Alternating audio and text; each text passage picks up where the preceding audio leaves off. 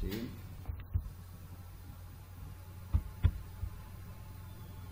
أوكي راح نبدي آه ناخذ نكمل ال- ال- الفصل الرابع ال energy balance for closed systems هو أصلا ال- الفصل الفصل هو عنوانه energy analysis for closed systems فإحنا نبدي بال energy analysis أخذنا المقدمة إلى.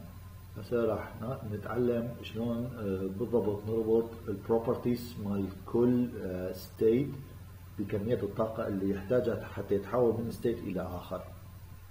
اللي أقدر اني استفاد من عنده بالصناعة.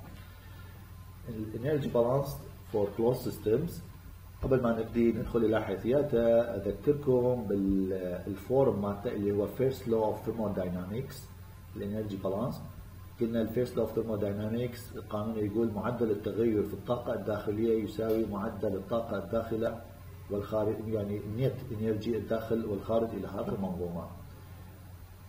معدل التغير بالطاقة الداخلية ال internal energy change in internal energy اللي هو عندي آه، له علاقة بالذرية للمادة والطاقة الحركية والطاقة الكامنة زائد إذا طاقات أخرى عندي لكن هذا ثلاثة المعروف عندنا بال thermodynamics التغير بهذه الطاقات يساوي عندي الطاقة الخارجة ومثل ما نذكر الطاقات الداخلة والخارجة لها علاقة بال وانتقال الكتلة حرارة وشغل وانتقال الكتلة.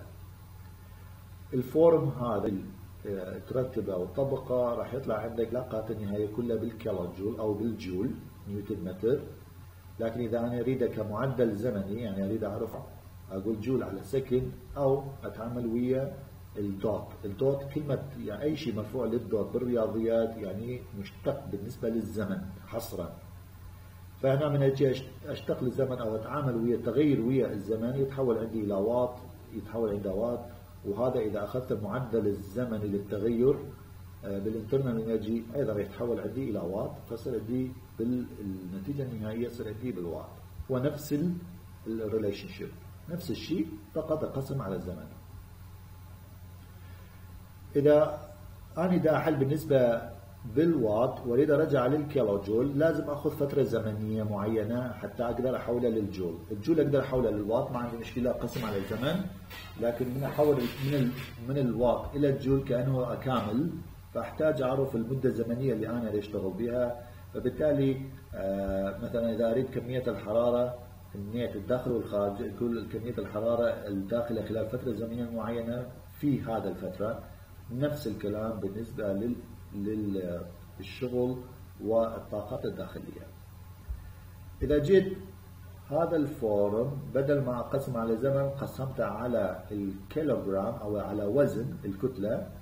يتحول عندي إلى E in minus E out دلتا E system ال E in هي الح- الحرارة كمية الحرارات وال mass وال energy الداخلة ونفس عندي هنا الخارجة لكن بوحدة الجول لكل كيلوغرام. وحدة الجول كل كيلوغرام. ويدرج بعد آه،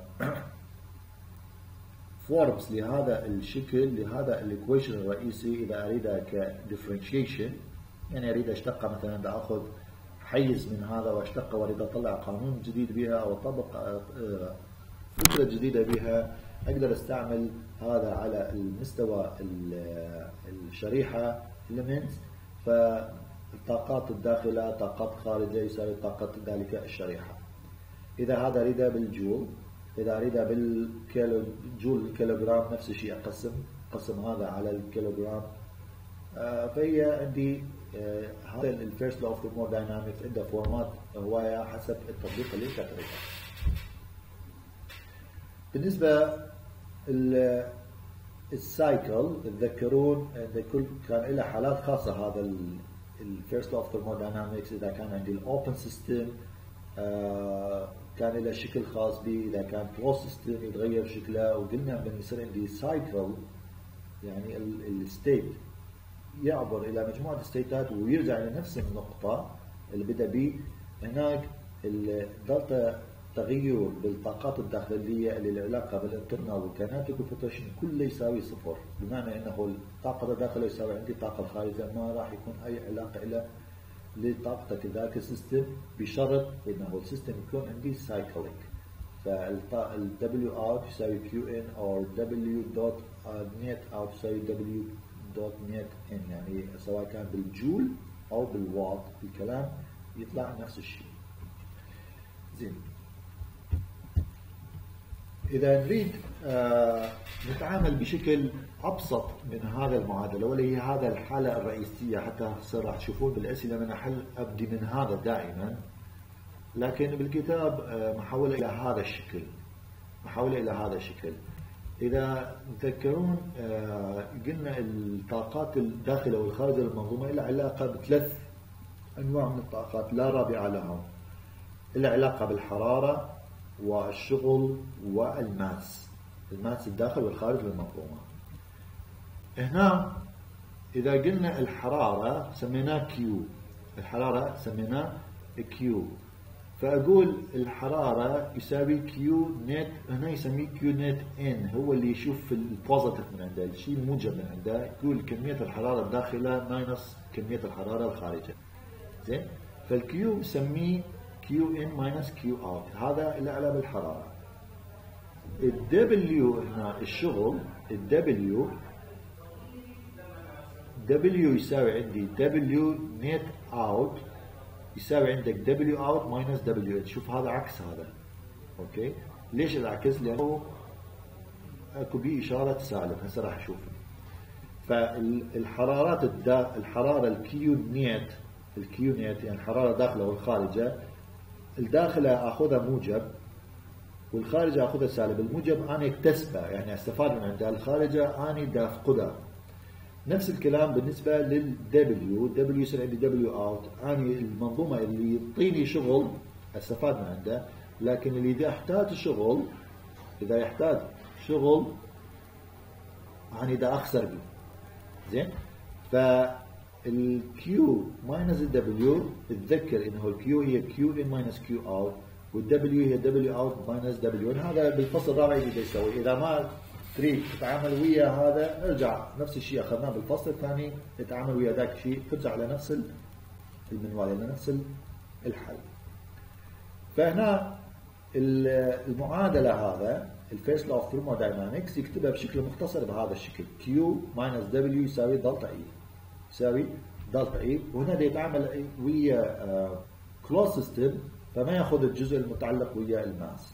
ياخذ الجزء المتعلق من ال mass هو مبين من اسمه closed systems ما عندك mass ما بيتغير بالنسبة لهذا الموضوع. فصار عندي Q in minus W net out يساوي delta energy مال system أو Q minus W يساوي delta E لكن خلي في بالك ال Q هذا تعريفه وال W هذا تعريفه. زين. حتى أقدر أطبق هذول القاعدة يا اما تحتاج تحفظ هذا أو تذكر شيء اسمه ال sign convention الاتفاقيه الإشارات. energy balance with sign convention. هنا يقول ال heat in heat input أو heat in and work out are positive. فهو heat in positive work out positive هنا عندك heat out and work in are negative. هذا عندك work out اشارته سالب والدبليو ان أيضا اشارته سالب لأنه هذا أنا أخسرهم. أنا بدي اخسرهم فاما تحفظ هذا أو تتذكر هذا القاعدة الحرارة الداخلة والشغل الخارج positive الحرارة الخارجة والشغل الداخل negative زين؟ هذا مربوط عندك إياه هنا كله. General form Q minus W equal to delta energy. إذا عندك ال system stationary إذا ال system stationary بما أنه بما معناه ال potential وال kinetic يساوي عندك صفر بالنسبة للجزء الأيمن. فعندك فقط يصير إلى العلاقة فقط بال delta U. فقط عندك ال delta E تحول إلى delta U. إحنا نعرف ال delta E هي عبارة عن internal energy زائد kinetic energy زائد potential energy لكن المنظومة من يصير عندي؟ stationary ال potential وال kinetic ما راح يصير عندها فقط يصير عندها ال internal energy delta U. اللي أيضا تعاملنا وياه بالجداول. تذكرون تعاملنا ويا ال specific volume ال internal energy اللي هو ال U. وكذلك تعاملنا ويا ال enthalpy ال H نفس هذا المعادلة إذا أخذها per unit mass فقط اقسم على ال mass فيصير عندي Q small letter W small letter وال E أيضا يتحول عندي إلى small letter. إذا أريد أتعامل ويا هذا المنظومة إذا differential form فقط أضيف له ال d من كلا الطرف بالكلا المعادلتين. تذكروا هذا الكلام هذا المعادلة صح من يصير عندي system closed شوفوا هنا ما عندي أي علاقة بال mass. أي كمية ال mass الداخل أو الخارج ما عندي علاقة. فهذا ال form يشتغل عندي بالفصل الرابع لأنه له علاقة فقط بال closed systems. ال open systems أو ال open ال control volume ما راح يطبق عليه هذا القاعدة. هذا القاعدة هي القاعدة الأساسية لل closed systems. إذا عندي ال system مالتي cycling cycle ال delta energy الان راح يساوي عندك صفر هذا الجزء يساوي صفر بمعنى إنه كيو يساوي دبليو كيو يساوي عندك الدبليو مثلا عندي هذا ال state هنا هذا ال state مر ب path مجموعة state ات لكن ال path خلاه يرجع إلى نفس ال state. إذا كمية الطاقة اللي يكتسبها آه، خلال هذا ال state يساوي كمية الطاقة اللي يخسرها بالرجوع إلى نفس ال state. فإذا delta E يساوي عندي صفر بمعنى إنه Q يساوي عندي W أذكركم بشيء حلو إنه first of thermodynamics كتسمية موجود لكن كرياضيا ما يقدرون يثبتوه cannot be proven mathematically. طبعا إحنا بالنوريات لنا حق كمهندسين لنا حق نثبتها باتجاهين نثبتها رياضيا. إذا ما قدرنا نثبتها رياضيا نجي له ابروتش إنه نطبقها بالحياة ونشوفها نطبقها مليار مليارين مرة ونشوف كل مرة نشوف النتيجة. إذا ثبت عندي النتيجة أقدر عليه أقدر أقول عليه إنه هذه هي نظريه لكن أهل الفيزياء يكرهون هذا الشيء أو أهل الرياضيات أيضا يكرهون هذا الشيء. لكن إحنا كمهندسين معطين لنا نفس هذا الحق. واحدة من الحقوق اللي واحدة من النتائج من هذا الحقوق إنه first law of thermodynamics ما نقدر نثبتها mathematically. لكن no process is natural اثبتنا انه ماكو عمليه أو بروسيس آه، بالطبيعه ما يطبق عليه ال first law of thermodynamics فاذا صار عندي theory صار عندي in nature is known to have violated violated يعني يكسر هذا القاعده first law and this should be taken as a sufficient proof يعني انه ما دام ما عندي اي process بالكون يكسر عندي ال first law of thermodynamics اذا أنا أثبته إنه هذا كلش كافي كبرهان إنه first law of thermodynamics شيء صحيح. نجي إلى ال energy balance هسه كان عندنا هذا هو القاعدة الأساسية مال first law of thermodynamics يشمل ال open وال closed system جميع أنواع الحالات يعني general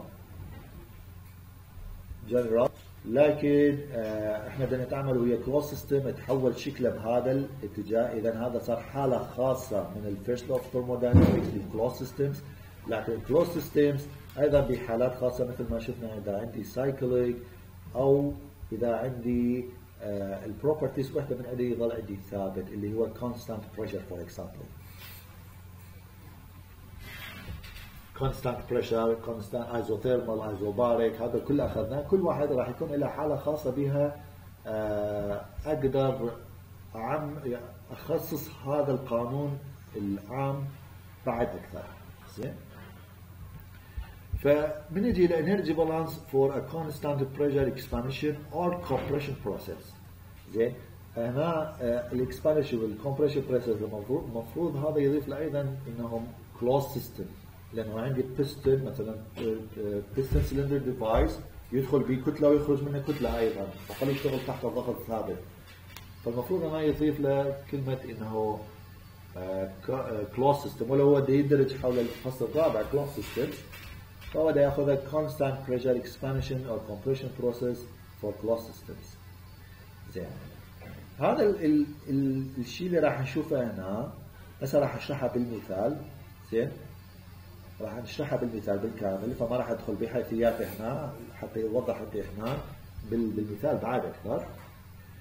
زين هنا باش نريد نقرأ general analysis for closed system closed system undergoing undergoing يعني يتحكم به quasi equilibrium constant pressure process Q is to the system W is from the system okay هذا الكلام هذا الكلام هسه راح نشوفه بمثال أيضا. مثال حي هذا الكلام هون. Expansion against a vacuum يعني التمدد ضد vacuum involves no work and thus no energy transfer. زين هنا يقول إذا كان عندي مثلا عندي هذا البستن هذا البستن إذا تحرك إلى vacuum ال vacuum إنه من وحداته إنه ما بي مادة ما بي مادة الكتلة يساوي صفر. وال pressure بي يساوي صفر. وأي نوع من أنواع ال energy ما بيها إذا خليت هذا مثلا هذا الماي يصير بيه expansion إلى vacuum حتى لو عندي ال volume ده يتغير لكن ما راح يصير بي work مثل ما راح أشوف هسه بالمثال هذا ال notes أيضا جدا مهم. For a closed system undergoing a quasi quasi equilibrium peak يساوي constant process uh, delta U plus WB the delta uh, uh, noid this relation is not valid for closed system process during which pressure does not remain constant أيضا هسه هذا اربط لك اياه اثنيناتهم سوى بمثال اربط هذا ال هذا الاكسبريشن ويا هذا الكلام بمثال حتى يكون عندي الواقع بعد اسهل زين هذا ال expression أيضا راح نشوفه بالمثال اللي هو نتيجة هذا. زين خلينا ندخل للامثله أحسن عندي على هذا الموضوع. آه ركزوا في هذا الموضوع.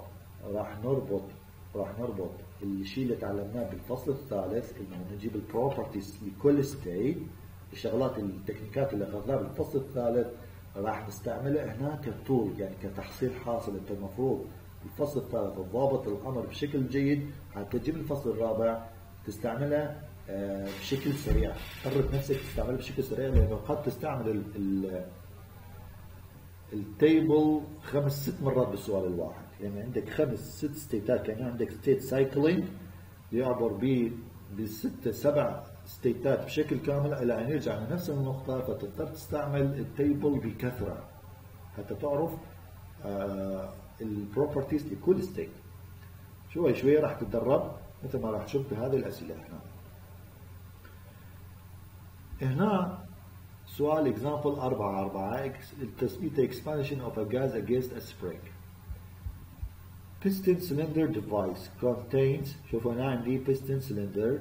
طبعا ما دام هو الفصل الرابع هي closed system ما بي دخول الكتلة ما يتغير عندي. Piston cylinder device contains 0.05 متر مكعب of gas. هذا ده يحوي تقريبا 0.5 مكعب من نوع من الغاز. الغاز نوعية ما معطينا اياها ما دام ما معطيك نوعية المادة لازم يعطيك ال properties حتى تعرف شلون بدك تتلاعب وياها. لأنه ما عندك ما لك حق تستعمل الجدول لأنه ما ما تعرف. تذكرون كل state أو كل process لازم أعرف أي مادة بدي اتعامل وياها اني وأعرف ال state مالتها حتى أقدر أستعمل جداول بها وبالعكس.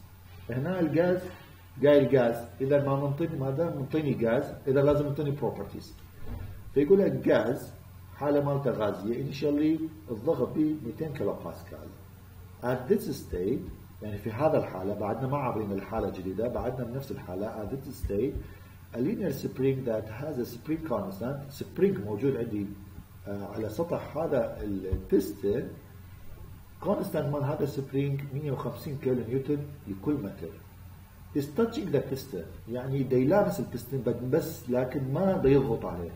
ما دا يضغط عليه يعني معناه هذا ال 200 كيلو باسكال ما دا يشتغل ضد هذا البستن فقط دا يشتغل ضد الوزن مال البستن but the external external no force يعني دا يولد ما دا يولد أي نوع من أنواع ال force على هذا البستن هسه صار بهذا الوضع بدينا نضخ حرارة لهذا المنظومة يعني بدينا نسخن يعني heat is transferred to the gas. من الغاز يتسخن يتمدد أوكي يتمدد. من يتمدد الضغط أيضا يتبدل بها causing the piston to raise and uh, يعني بدأ الغاز يتمدد بدأ يضغط على ال piston uh, البستن هذا اللي فوق موجود به spring فبدأ ال spring بدورة يضغط على ال spring آه البستن بدأ يضغط على ال spring. زين. من بدأ يضغط على ال spring صار بال spring؟ spring until the volume inside the cylinder doubles. صار الحجم داخل البستن داخل هذا البستن صار مرتين أكبر من الحجم البدائي لأن هنا صار عندي 0.1 متر مكعب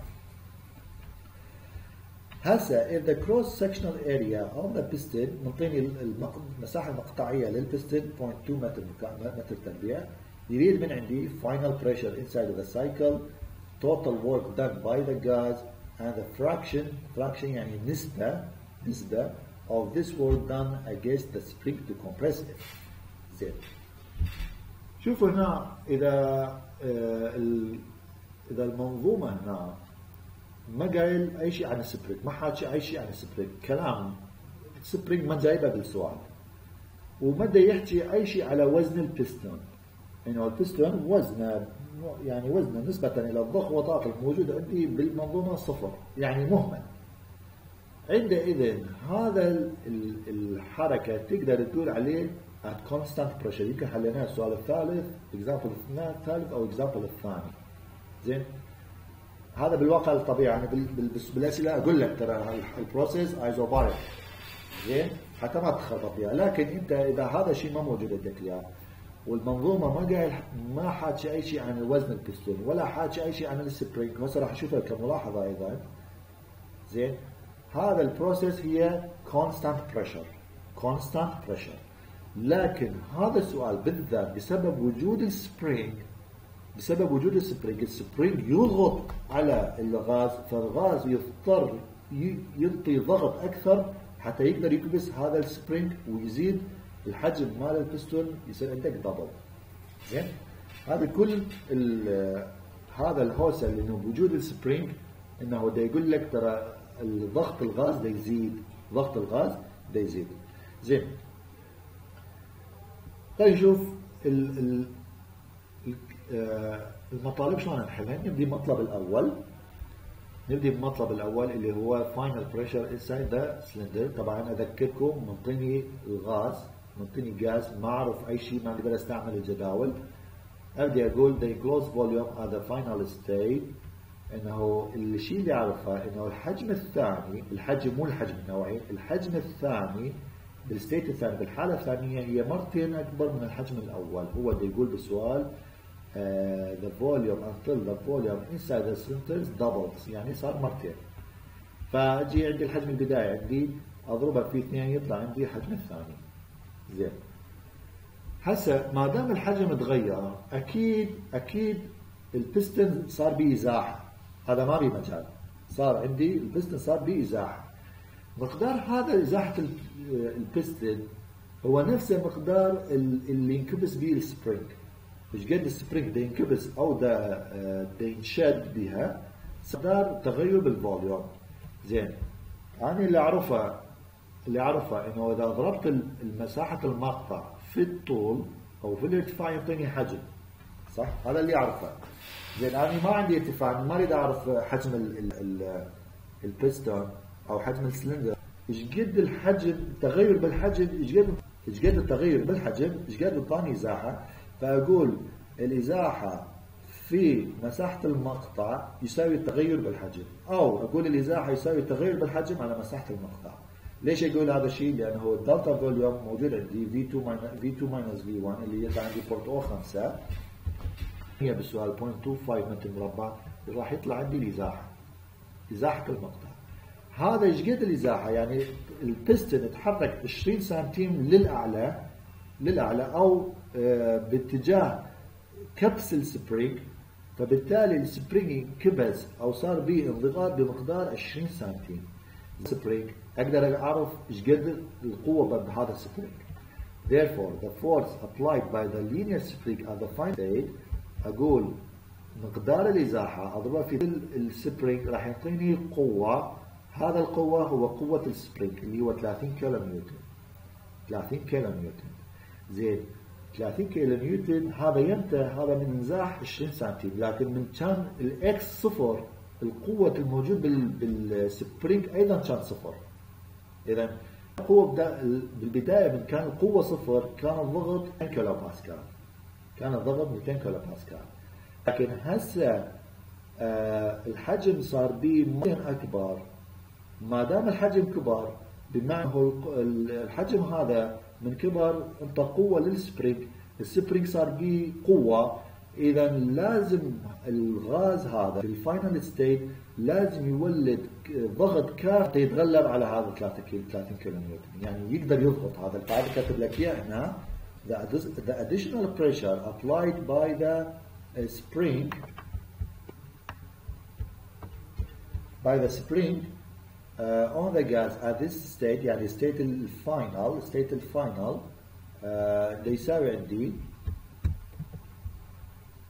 بيساوي عندي القوة اللي وجدتها 30 كيلو جول على مساحة المقطع يعطيني ضغط. هذا الضغط 120 كيلو باسكال هذا 120 كيلو باسكال المفروض الغاز يضيفه إلى 200 كيلو باسكال اللي بالبداية حتى يقدر يضغط ال spring حتى يقدر يضغط ال spring فمن ربطة هذا الكلام أقدر أقول آه، إنه الضغط النهائي بهذا المنظومة الضغط النهائي بهذا المنظومة هو يساوي الضغط البدائي زائدا إيش قد الضغط أنا أحتاجه حتى أكبس ال spring. فيصير عندي 200 زائدا 120 ويساوي عندي 320 كيلو باسكال وحليت السؤال بدون ما أرجع للجداول لأنه أصلا ما أعرف شنو نوع الغاز. ما أعرف شنو شنو نوع الغاز. Without the spring the pressure أنا هسه قلت لكم راح اكتبها كملاحظة. إذا ما عندي ال spring Without the spring, the pressure of the gas would remain constant at 200 kilopascal لأنه البستن وزنه مهمل. البستن ما معطيني وزنه فأعتبره مهمل فيصير عندي 200 كيلوباسكال لكن بسبب وجود ال spring لا. مفروض هذا الغاز يعطي أو يزيد ضغطه عن الضغط 200 كيلو باسكال حتى يقدر يكبر حجم السلندر. فاستفادت من هذا الإشارة ومن هذا الملحوظه قلت okay الضغط النهائي لازم يساوي ضغط البداية زائدا إيش الضغط اللي يجي من ال spring اللي هو يساوي قوة ال spring على مساحة المقطع مال السلندر وعرفت الضغط النهائي يساوي عندي 30 كيلو باسكال. زين ما دام صار عندي تغير بالحجم تغير بالحجم يعني هنا إذا جيت أخذت ما دام عندي piston cylinder piston cylinder إذا عندي moving boundary عندي moving boundary وتذكرون بداية هذا المحاضرة بداية هذا الفصل. جدا مهم ال boundary مال المنظومة يتحرك حتى يصير عندي آه، شغل.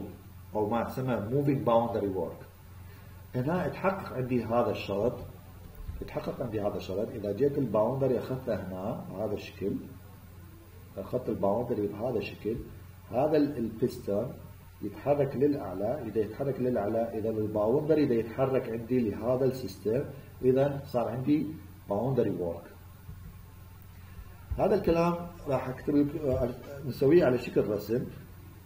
كان عندي الحجم بالبداية 0.05 متر مكعب والضغط 200 كيلو باسكال هذا موجود عندي بالسؤال. الحالة النهائية صار عندي الحجم 0.1 متر مكعب والضغط مثل ما حسبنا صعد إلى 320 كيلو باسكال هذا PV diagram هذا PV diagram مثل ما أسلفت. ال PV diagram نستفاد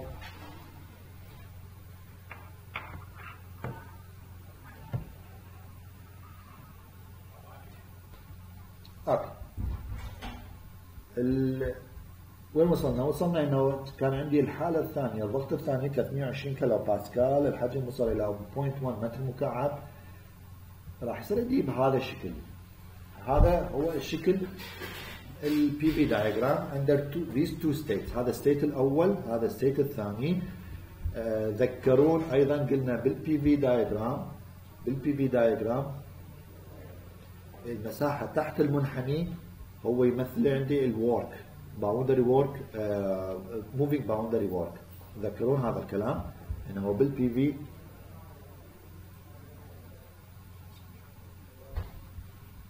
زين okay المساحة تحت المنحني يمثل عندي ال moving boundary work زين. بالنسبة لهذا السؤال قلنا إذا ما عندي spring الضغط يظل عندي ثابت. فمن يصير عندي الضغط ثابت آه، المساحة المرتبطة بثبوت الضغط هو هذا المساحة هذا المساحة رقم واحد هذا اللي تشوفوه باللون الأخضر هذا عندي الضغط وطلع عندي 200 كيلو باسكال لكن ال spring ال spring ده يضيف مساحة أخرى يعني لازم أنا أشتغل ضد هذا ال spring. هذا المساحة الفوق اللي فوق اللي بده يصير به الضغط يبدي يتغير بشكل خطي لأنه عند ال spring شكل خطي مالته. هذا المساحة هو الشغل الإضافي حتى أتغلب على قوة ال spring. زين؟ السؤال هو شو يريد السؤال؟ المطلب الثاني. المطلب الثاني total work done by the gas إذا total work done by the gas يعني لازم أحسب المساحة الأولى زائد المساحة الثانية. زين؟ آه مثل ما تشوفون هذا ترابيزويدال شبه منحرف.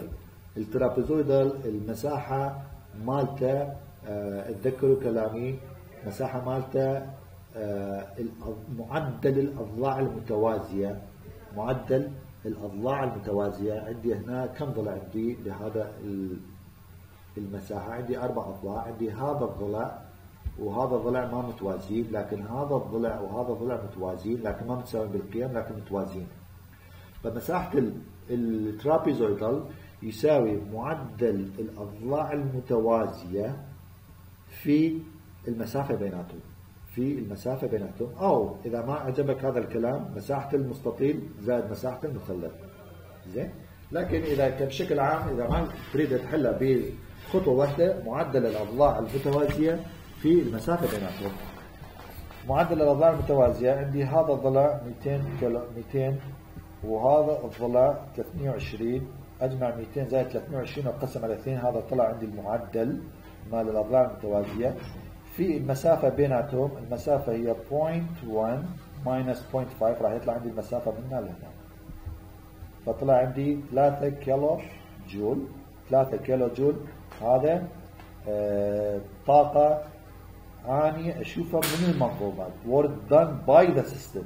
Work done by the system. طاقة أشوفها من المنظومة. وفعلا شفتها أنه كبس عندي ال spring ومو بس بس ال spring الحجم مالته تغير مرتين. فإذا يطلع عندي positive زين.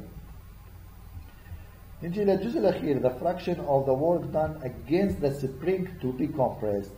مثل ما قلنا هذا المساحة الثانية هو المساحة اللي آه، شغل إضافي تسويه حتى نقدر نكبس ال spring فهذا هي مساحة جواب السؤال الثالث الجزء الثالث ال fraction نسبة أو الجزء اللي يكون آه، ضد آه، شغل spring ف W of spring area the region 1 عفوا region 2 اللي هو عندي مثلث مثلث نصف القاعدة في الارتفاع آه، يصير عندي القاعدة مالته الارتفاع مالته راح يصير عندي هو هذا الجزء وهذا الارتفاع اللي هو 320 minus 200 هذا هذا الارتفاع 320 minus 200 في في القاعدة مالته القاعدة مالته هذا هو المسافة اللي هو 0.1 minus 0.05 اللي يطلع عندي 0.05 فهذا عندي 3 كيلو جول فعندي البداية يطلع عندي 13 كيلو جول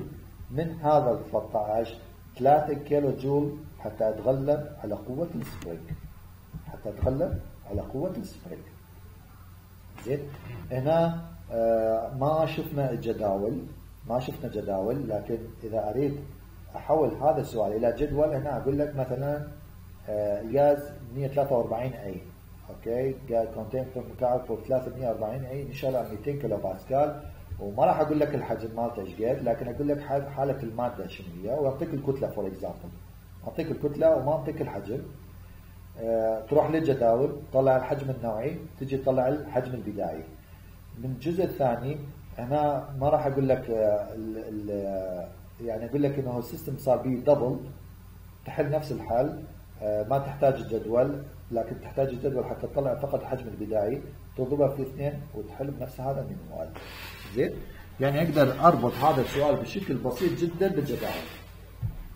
الفكرة الأساسية بهذا السؤال آه إنه ال moving boundary آه، يطبق هنا بشكل آه، ملحوظ إنه هو عندي ال boundary بيتحرك يتحول يصير عندي شغل.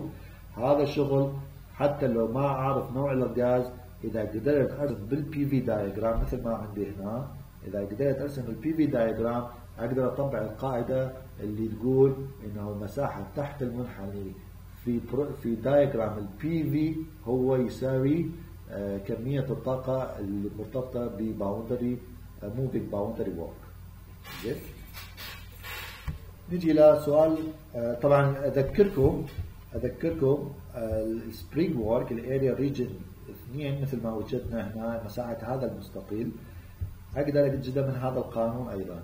تذكرون هذا القانون الشغل مال ال spring يساوي نصف K X تربيع 2 minus X تربيع 1 كان عندي كاينات kinematic دي أقدر أستعمل هذا الكلام أيضا.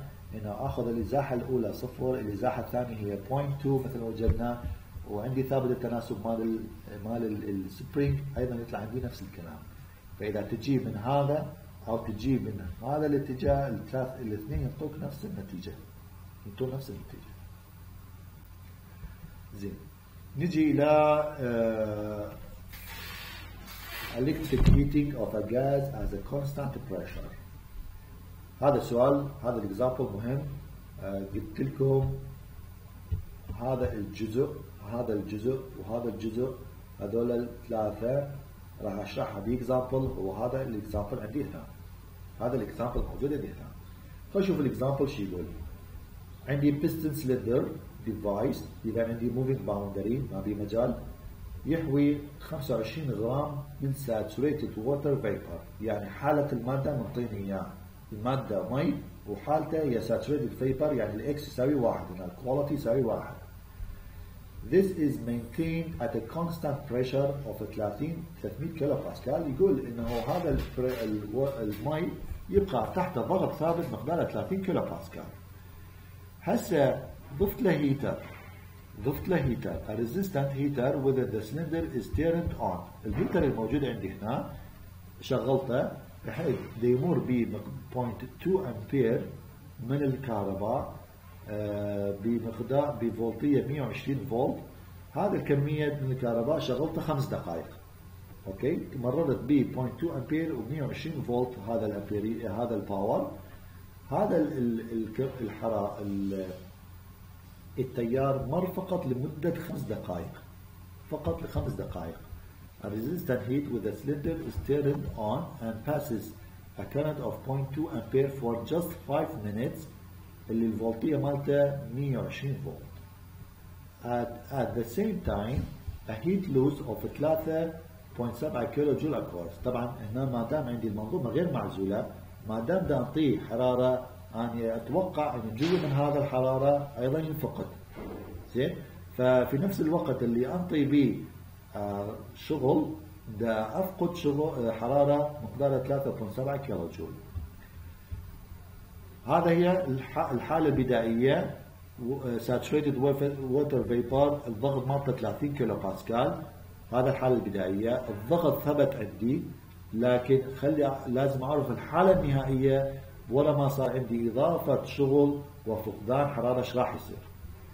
هو ما يسال هذا الستيت بال بال الكويشن أو بالجزء الأول ده يسال show that for a closed هناش ده يقول closed system uh, the boundary system عندي closed the boundary work WB and the change in internal energy delta U in the first law يعني first law يعني first law of thermodynamics can be combined into one term اللي هو delta enthalpy فور يا واحد إذا كان عندي الحالة هي كونستانت بريشر بروسيس إذا الشيء اللي راح نشتقه هسه صحيح صحيح اندرتود بشرطين. الشرط الأول إنه سيستم كلوزد الشرط الأول إنه سيستم كلوزد والشرط الثاني الضغط ثابت. إذا واحدة من الشروط انفقد الشيء راح يشوفه هنا مو صح. مو صحيح. إذا لازم يكون ال system closed ولازم يكون الحرارة الضغط be constant زين. خلينا نبدي بالأساسيات اللي إحنا نعرفها. إنه أنا أعرف first law of thermodynamics first law يعني first law relation يعني first law of thermodynamics الحالة القانون مالته اعرفها بشكل عام كمية الطاقة الداخلة minus كمية الطاقة الخارجة. هذه طاقات لها علاقة بالحرارة والشغل وال mass. ال net change بهذولا يعني المعدل الجمع الجبري لهذولا يساوي عندي التغير بطاقة الداخلية للمنظومة اللي يشمل ال internal وال kinetic وال potential وأني أنواع أخرى. إحنا ما نعرف إحنا فقط ناخذ هذه ثلاث أنواع. هذا هي الجنرال. هسه أجي أطبق على على حالتي. أجي أقول تذكرون بداية المحاضرة هنا؟ هنا؟ ربط الكيو والدبليو الان والاوت كلهم بمعادلة واحدة. هذا المعادلة صح يصير عندي ال closed system هنا طبقها مباشرة. المفروض أني آه، أضيف كلام هنا أنه هنا أقول for closed system. قبل ما أكتب هذا for closed system ال mass اللي علاقة ال energy اللي علاقة بال mass أيضا يساوي عندي صفر. عندئذ أقدر أكتب Q minus W. إذا ما أكتب هذا الكلام يعني هذا غلط من عندي المفروض أكتب هذا الكلام. For closed system I can write Q minus W equal to delta E. زين؟ أوكي. ما دام عندي system closed ما دام عندي ال system closed الموجود علاقة بال mass ما موجود آه، بالمعادلات فالمعادلة راح يصير عندي فقط حرارة وشغل. وإحنا قلنا الحرارة minus الشغل ال Q net minus ال W net أقدر أكتبها بهذا الشكل. الجزء الأيمن يساوي عندي دبل delta E ال delta E اللي هو delta U delta kinetic و delta potential ال system ما حاكي أي شيء أنه المي هذا بيتغير ارتفاعه أو بيتغير آه، سرعة حركته يعني الماء بسرعة. فإذا هي stationary system فإذا الجزء ال kinetic والجزء ال potential أيضا راح يساوي صفر. فيتحول عندي المنظومة هذا المعادله الجنرال إلى هذا الحالة الخاصة إلى إلى هذا الشكل. Q minus W يساوي delta U يساوي عندي delta U زين. صار عندي Q minus W يساوي delta U أرجع إلى إلى W. أرجع إلى ال W ال W هنا ال boundary work ال boundary ال moving boundary work هي جزء من هذا ال W هي جزء من هذا ال W أوكي خلوها في بالكم لا تنسون انه ال boundary work ال W b اللي يساوي التكامل من واحد إلى اثنين pressure delta V هذا ال expression مالته. عفوا. هذا ال W هي جزء من هذا الشغل جزء من هذا الشغل. فأقدر أستخرجه خارج هذا ال W من عندي إشارة سالبة هنا فيأخذ نفس الإشارة السالبة فكأنه يصير عندي other زائد دبليو بي الكل بالسالب. كلمة other كلمة other بمعنى إنه يشمل جميع ال work البقية اللي هو مثلا عندي آه، حرارة عندي spring آه، أي نوع أنواع الشغل الأخرى ما عدا ال W boundary فال W boundary طلعته خارج القوس. زين. أرجع إلى الجزء الثاني الجزء الأيمن من عنده هذا ال delta U طبعا لازم اخذها between two states. لازم آخذها between two states. فراح يصير عندي dU dU يصير عندي state النهائية minus ال state البدائية أو ال state الثاني minus ال state الأول بهذا المثال. بس هنا بقدر أقدر أقول U final minus U initial U final minus U initial هسه هذا المعادلة هذا المعادلة لحد هسه فقط استعمل ال closed system فقط استعمل ال closed system بعد ما مستعمل ال constant pressure بعد ما مستعمل ال constant pressure. تذكرون بالمحاضرة السابقة ال WB ال WB من يكون عندي الضغط ثابت يعطى بهذا الشكل. ال WB من يكون عندي الضغط ثابت هسه راح ارجع التكامل ارجع إلى هذا التكامل هذا التكامل. ثبت به الضغط ثبت به الضغط كامل من الحجم الأول إلى الحجم الثاني راح يطلع عندك هذا المعادلة.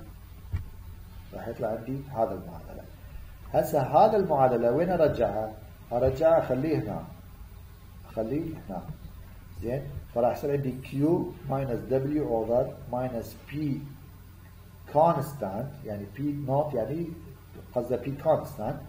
V2 minus V1 يساوي U2 minus U1 هسه استعملت هذا الشرط أيضا بالمعادلة فإذا هذا المعادلة هذا واللي يطلع وراه يتحقق فقط من يكون عندي constant pressure process و closed system. Constant و closed system. زين however P naught P constant يساوي عندي الضغط الأول ويساوي عندي الضغط الثاني ويساوي عندي P naught.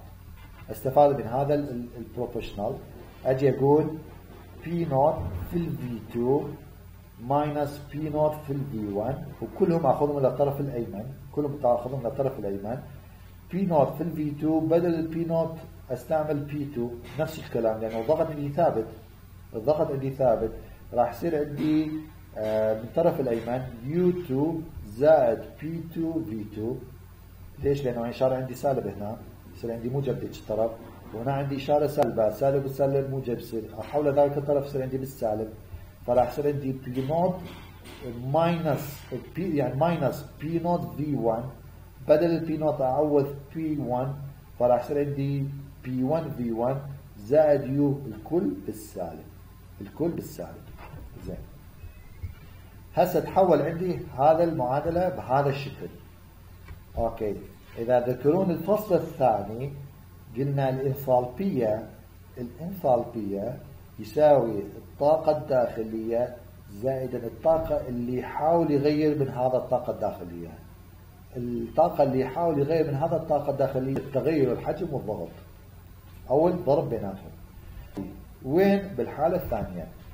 إذا إذا تذكر التعريف الانثالبية يساوي internal energy زائدا ال energy that tries to change this internal energy اللي في ال P تتحول عندي المنظومة Q W other يساوي H2 minus H1 ويطلع عندي بالكيلو جول. وهذا بالضبط ما هو يريده بالسؤال.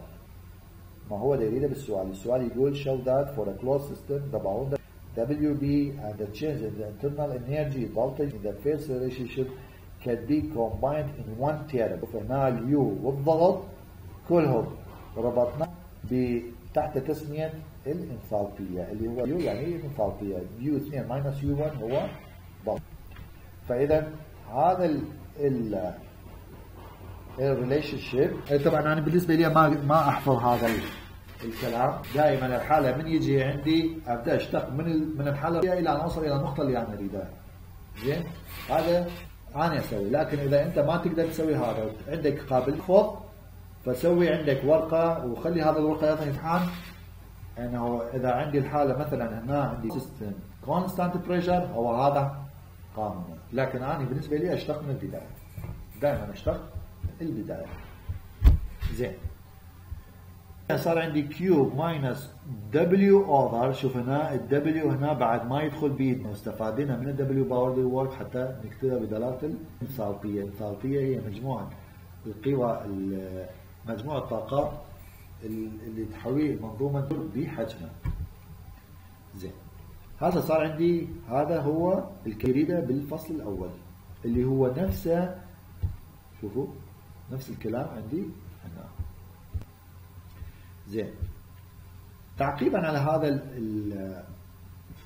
الايكويشن هنا هنا for a closed system undergoing a quasi pressure constant delta U زائدا WB يساوي H note that this relationship is not valid closed system process that has no compression أوكي هذا الكلام هنا آه راح أقول لك اياه هنا بشكل آخر. هذا صح عندما يكون ال constant pressure يكون system closed زين؟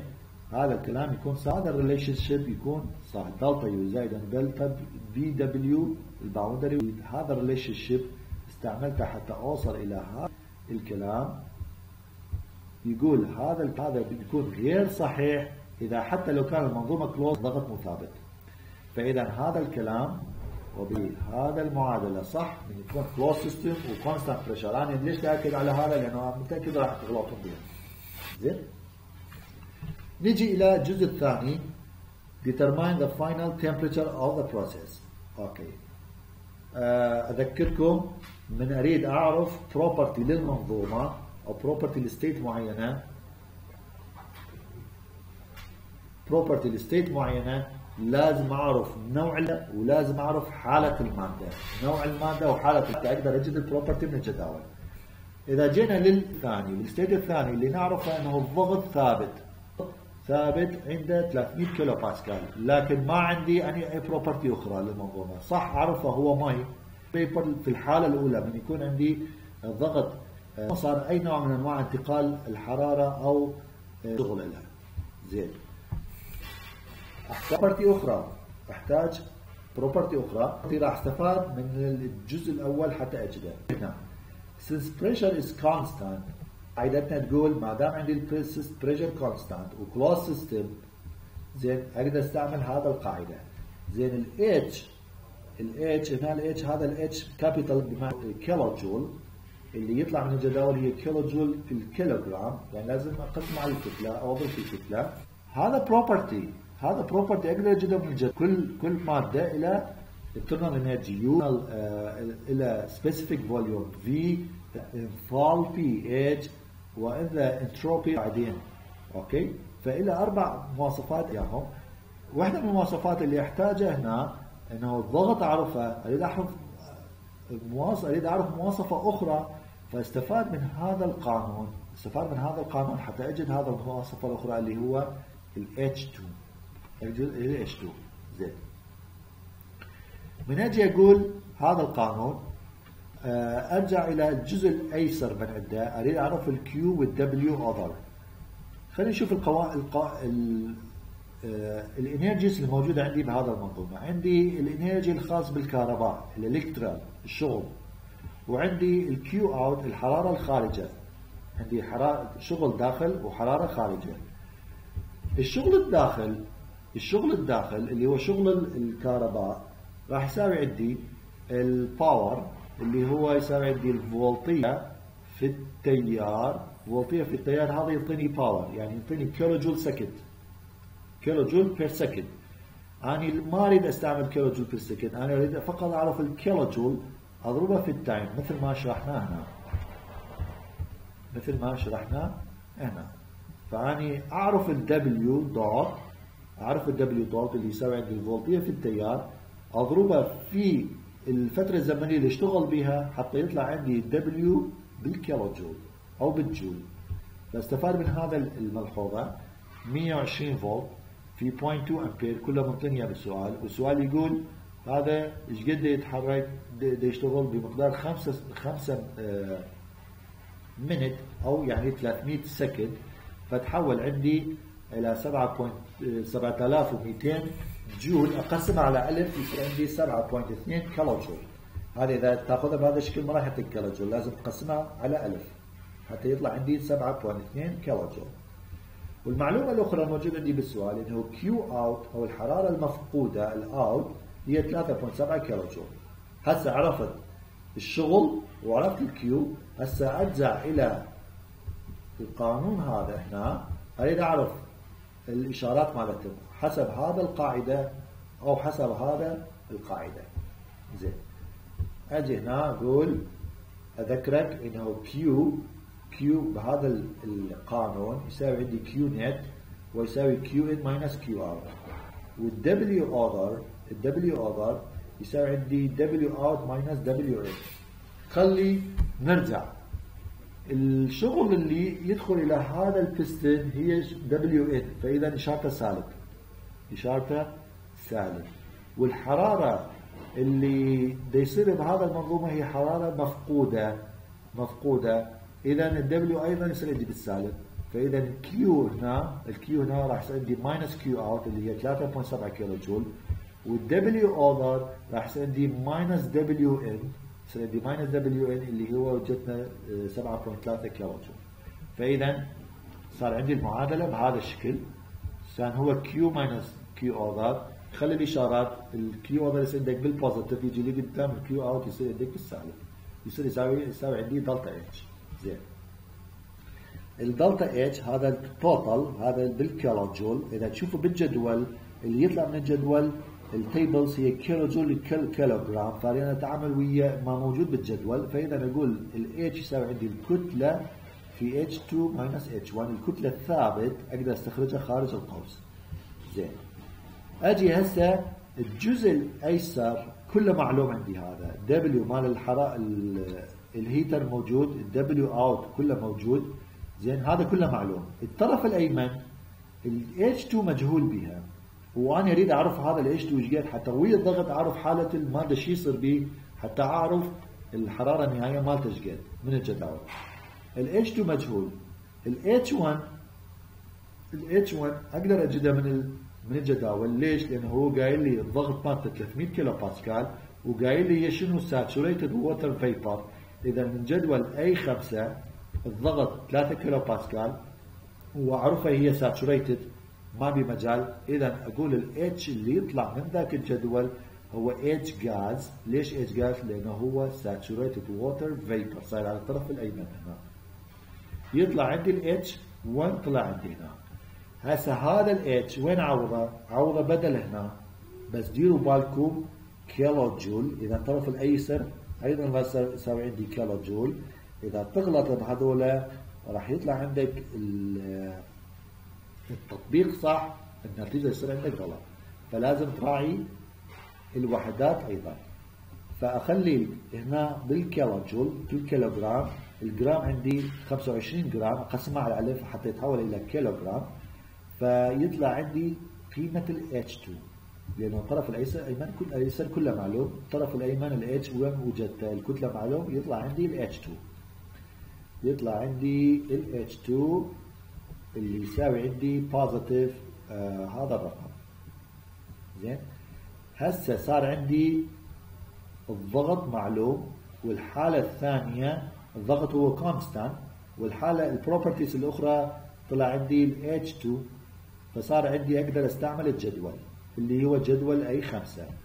من الجدول A خمسة راح أكتشف إنه الحالة مالتي هي superheated water كان بالبداية saturated water vapor صار superheated vapor صار superheated vapor يعني راح تشوف إنه هذا ال H2 أكبر من ال HG اللي تجدها من الجدول A 5 زين؟ فصار عندي superheated water أرجع إلى جدول A 6 تحت ضغط 0.3 ميجا باسكال وهذا الرقم تقريبا هذا الرقم اللي راح تشوفه بالجدول أعتقد 2865 كيلو جول اذا نقول تقريبا درجة الحرارة 200 درجة سيليزيه لا تسوي interpolation ماكو داعي تحلق وقت تسوي interpolation أنا هذا الحرارة اللي يطلع عندي هنا آه مقبولة 200 درجة سيليزيه أو 198.999 درجة سيليزيه يعني 200 درجة سيليزيه فهذا اللي راح تشوفه بالجدول أعتقد مو 64 65 وكسر. كلش قريب على الرقم. مقابلة الحرارة 200 درجة سيليزيه أوكي خليه 200 درجه سيليزيه هذا السؤال كلش كان آه يجمع ما موجود عندي بالفصل الثاني والثالث والرابع كله بسؤال واحد. زين. هاي ناخذ بعد طبعا قبل ما ناخذ المثال وراه أقدر أرسم ال P-V diagram أو ال P-V specific volume السؤال كان قايل لي إنه الحالة الأولى الحالة الأولى كان saturated vapor وأنا الحالة الثانية اكتشفتها هي superheated vapor والضغط ثبت بي لأنه هي constant pressure process أو isobaric process isobaric process الضغط ثبت عند 300 درجة سيليز كيلو باسكال العفو تحول من ال state الأول إلى ال state الثاني. نجي إلى example آخر. هذا ال example راح يشرح عندي هذا الكلام. راح يشرح عندي إيه هذا ال expression قلت لكم إذا ال boundary مال ال system إذا ما يتحرك إذا ما يتحرك حتى لو الحجم يتغير ما راح يصير عندي آه energy هذا الكلام راح أشوفه آه هنا. راح أشوفه هنا. شوفوا. من تسميته من تسميته rigid tank يعني الحجم ما يتغير.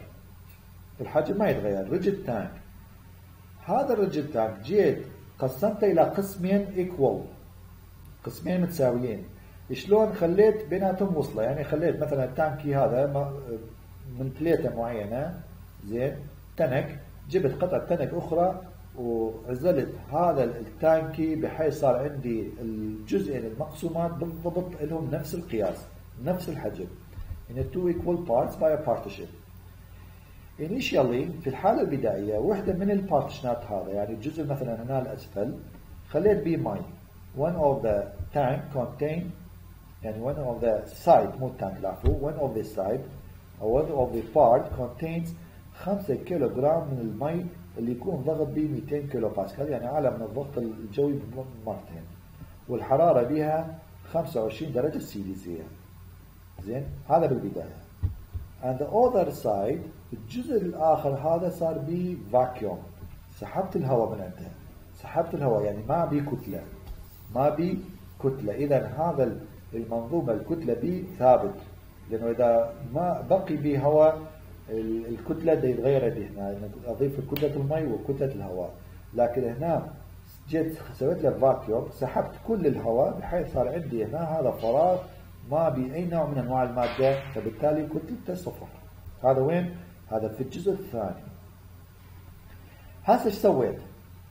جيت هذا ال partition هو هذا الجزء سحبته سحبته بحيث خليت الماي يشغل عندي كل الحيز هذا هنا يقول the partition is then removed and the water expands يعني تمدد into the entire tank يعني الماء يتمدد وشغل كل هذا الحيز The water is allowed to exchange heat with its surrounding until the temperature in the tank returns to initial value إلى 25 درجة سيليزية. طبعا ما دام صار عندي فاكيوم المي راح يتغير حالته ونتيجة تغيير هذا الحالة راح يسحب آآ آآ حرارة من المحيط. راح يسحب حرارة من المحيط. لكن أنا خليته يسحب حرارة إلى أن يوصل درجته إلى نفس درجة الحرارة البدائية اللي هو 25 درجة سيليزية يعني هذا a thermal process. زين. Determine the volume of the tank final pressure and heat transfer for the process. شوفوا هذا يريد كمية الحرارة اللي يكتسبها هذا المنظومة حتى يرجع درجة حرارته إلى 25 درجة سيليزية لأنه بالتأكيد راح ما دام يقول هذا الكلام إذا أكو حرارته يخفض نتيجة هذا ال vacuum خلينا نبدي بالأول volume of the tank زين نجي آه عندي المي عندي درجة حرارته وعندي الضغط مالته. مثل ما علمتكم ما دام عندي الضغط والحرارة أقدر أروح الجدول آه أي أربعة أو أي خمسة. من أي أربعة؟ عندي الحرارة أطلع الضغط وأقارن ويا هذا الضغط. أو من جدول الخمسة عندي الضغط أطلع الضغط أقارن أطلع الحرارة العفو saturated temperature وأقارنه ويا هذا. تسوي الحالتين الحالة الأولى أو الحالة الثانية بكلا الحالتين يطلع عندك السيستم هي compressed liquid. حالة المادة هنا هي compressed liquid. زين. من يصير عندي compressed liquid الحجم النوعي هو يساوي الحجم المادة من يكون بالحالة السائلة من الجدول أي أربعة. أقدر أستعمل جدول أي سبعة أيضا compressed liquid لكن أنت اهمل هذا الجدول A سبعة. دائما ارجع لجدول A أربعة لكن طلعها يعني جدول A أربعة دائما طلعها من الحرارة.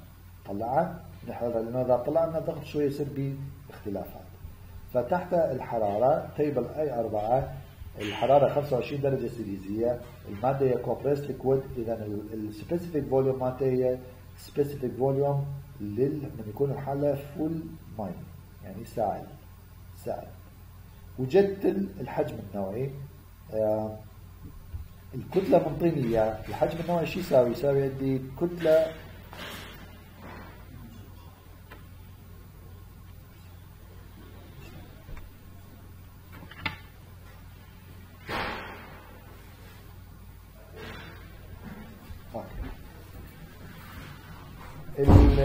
الكتلة موجودة عندي عندي الحجم النوعي أقدر أطلع الحجم البدائي يعني أقدر أطلع حجم هذا الحيز. أقدر أطلع هذا الحيز. حجم النوعي عندي كتلة ثابتة يظل عندي بالمنظومة اللي هو كتلة المي.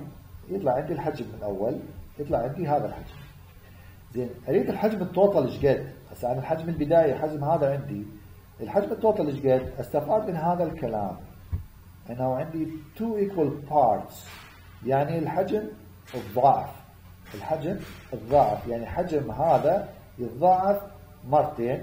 فإذا استفاد من هذا الكلام فقط أجي أضرب هذا في اثنين يطلع عندي total volume يساوي عندي اللي هو total حجم ال tank اللي هي مرتين من الحجم هذا الجزء يعني بالبداية سويت عندي tanki جيت قسمته بالضبط إلى قسمين متساويين. فإذا عرفت وحدة من الأقسام اضربها في اثنين يطلع عندي حجم ال tank كله. هسه هذا ال volume of the tank وجدته أريد ال final pressure يعني الحجم الضغط الضغط بالحجم يصير عندي آه المي يحوي كل المنظومة يعني من يرفع هذا ال partition. زين. the final state طبعا بال final state الحجم النوعي أقدر أجيبه. حجم النوعي يساوي حجم الثاني اللي هو حجم ال total على الكتلة. 0.1 ال total يعني.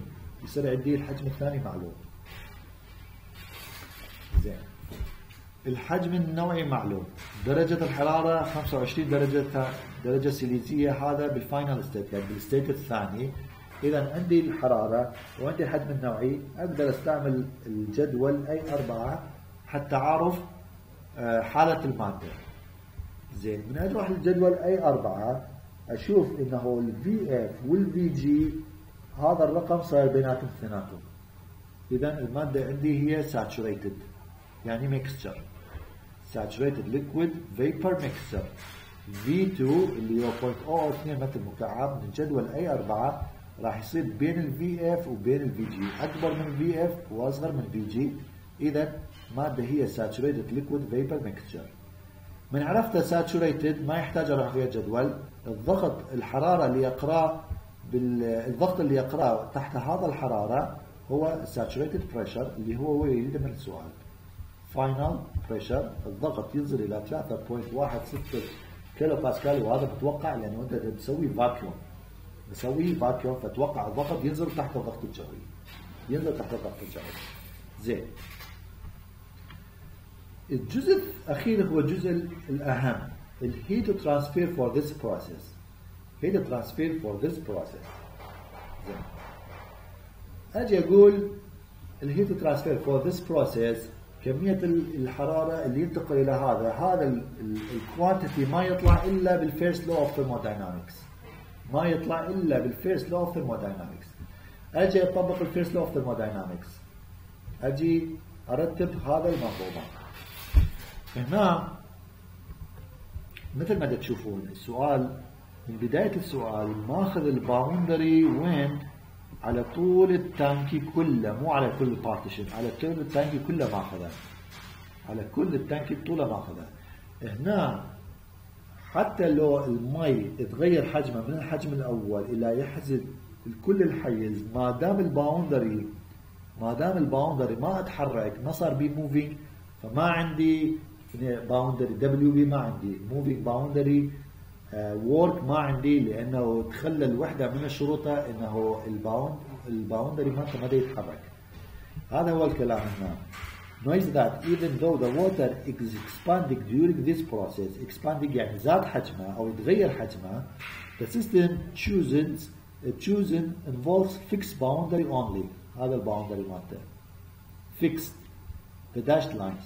And therefore the moving boundary work is zero. ليش؟ لأنه ال boundary ما يتحرك عندي مو مثل البستون مو مثل بقية الأسئلة. هنا. إذا تأخذ هذا البستون هذا البستون هذا ال boundary هنا هذا الجزء يتحرك ويا هذا البستون. يتحرك عندي ويا هذا البستون إذا يصير عندي boundary movement يعني إذا يصير عندي حركة لكن هذا الكلام ما يتحقق عندي هنا. فإذا ال WB صفر فإذا ال energy الموجود عندي هنا نتيجة ال wor ال WB صفر بها. إذا إذا ال WB صفر ارجعكم لهنا. لهنا نرجع. ال WB صفر هذا الكلام عندي هنا. ال WB صفر يعني هذا هذا الطاقة الموجود عندي هنا هذا عندي يساوي عندي صفر. والسؤال ما بي أي نوع من أنواع الطاقة. لا عندي طاقة كهربائية يدخل ولا عندي spring يشتغل ضده. هذا الجزء أيضا يصير عندي سالب يعني إذا أجي لهذا السؤال هذا ال W كله صفر. هذا ال W كله صفر. لكن هذا الكلام ال W كله يساوي عندي صفر. هذا الكلام يكون غير دقيق. إذا إلا لازم تقول إنه ال boundary moving boundary work أيضا يساوي صفر. زين؟ إذا أنا أجيب لك إياه بدل ما أسوي هذا الشيء أخلي بستون هنا. هنا من أخلي لك بستون ما لك حق عندي أي نوع من أنواع انتقال مو الحرارة أي نوع من أنواع ال transfer of work ما تقدر كله يساوي صفر لأنه ال W هذا ال W يحوي في حيثياته. الشغل اللي يجي من الكم بقية أنواع الشغل زائدا ال boundary work زائد هذا الفصل. لكن بهذا السؤال خصيصا بهذا السؤال لأنه ال boundary work صفر لأنه ما عندي moving آه، boundary وكذلك آه، ما عندي أي أنواع من الشغل على هو عندئذ أقول ال W يساوي صفر.